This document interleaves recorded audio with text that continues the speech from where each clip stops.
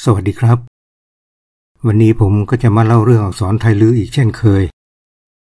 ในคลิปที่แล้ว ภาพนี้มีผู้เสนอความเห็นว่าคำว่าลาว น่าจะหมายถึงเหลา ก็คือพัตคาร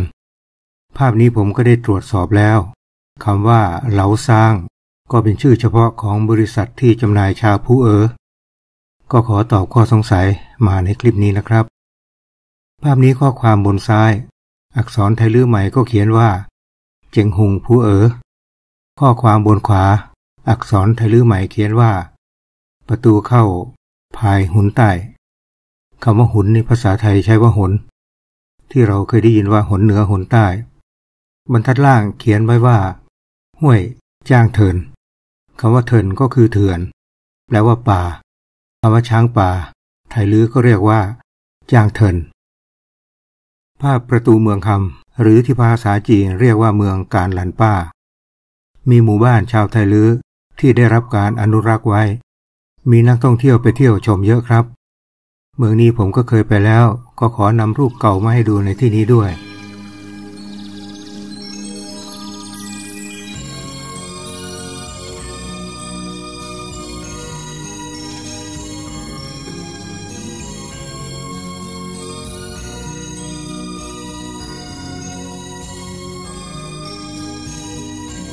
ภาพจากคลิปที่แล้วขอเพิ่มเติมคำว่าเนื้อวัว ภาษาลาวว่าสินงัว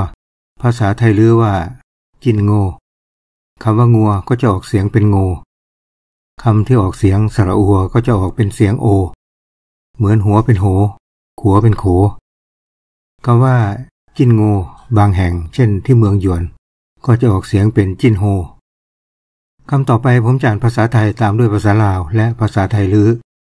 พร้อมอักษรไทยลื้อเก่า และบรรทัดล่างก็เป็นอักษรไทยลื้อใหม่ครับ เกี่ยวข้าว เกี่ยวเขา่า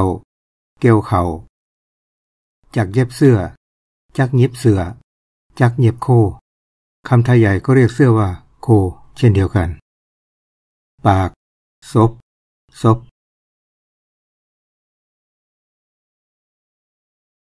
ตะไคร้สีไข่สะไข่ ล้านนาก็เรียกสะไคร้เช่นเดียวกัน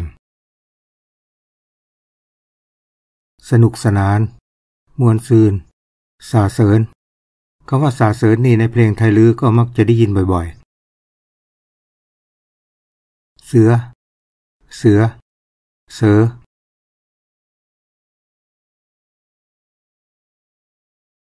เพื่อนเกลอเสียว เซลคำไทยลือเก่าก็จะเขียนว่าเสียว แต่คำไทยลื้อใหม่ก็จะเขียนตามเสียงว่าเซลสร้อยคอสร้อยข้อสร้อยข้อ เสื้อ เสือ เสือ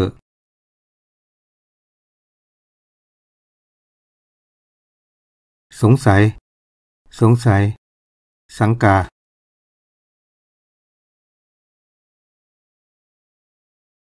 สัน สัน แซน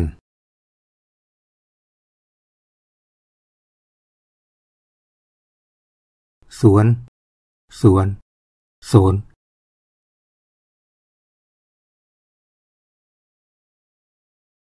ศึกสงคราม สงครามเซิก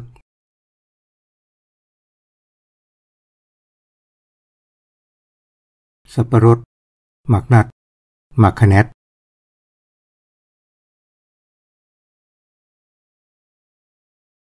ยาคุมกำเนิด ยาคุมกำเนิด ยาหมัน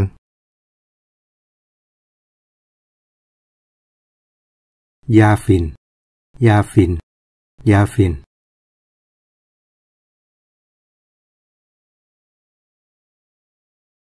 เย็น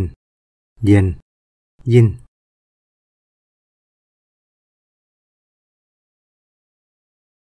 อยู่เย็นเป็นสุข อยู่เย็นเป็นสุข ยู่สุกกินหวาน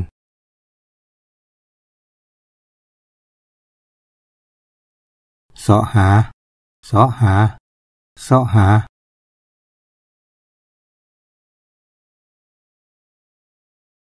ทราย ขี่ทรายทราย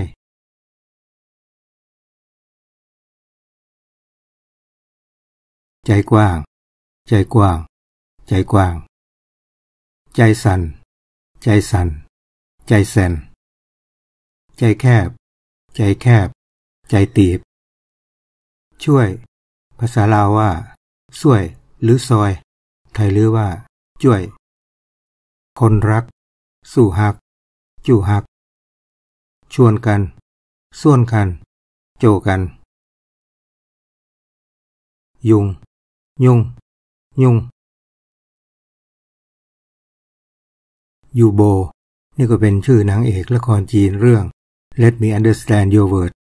คำว่ายูนี่ก็หมายถึงคันยู หมายถึงร่ม ส่วนโบก็มาจากคำว่าบัว ออกเสียงอัว เป็นเสียงโอ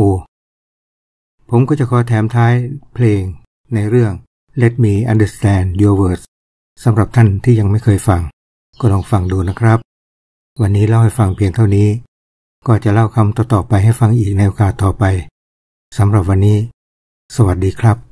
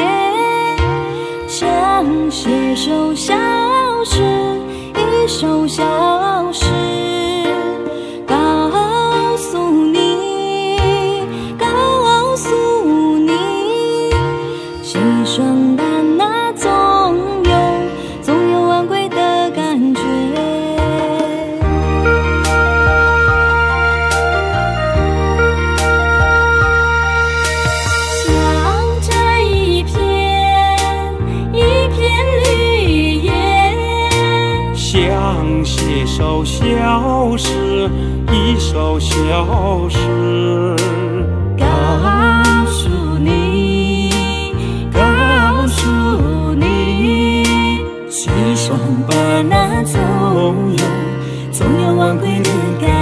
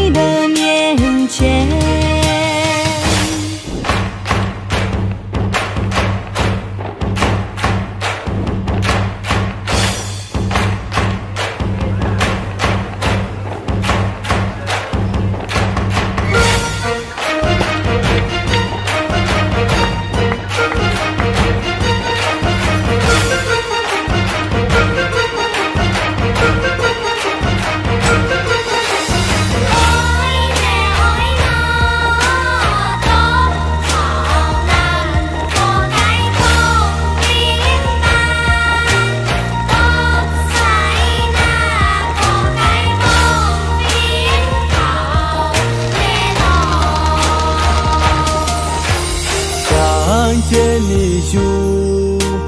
一束阳光。夕阳山道红山，一道红尘，告诉你，告诉你，西双版纳总有总有收获的季节。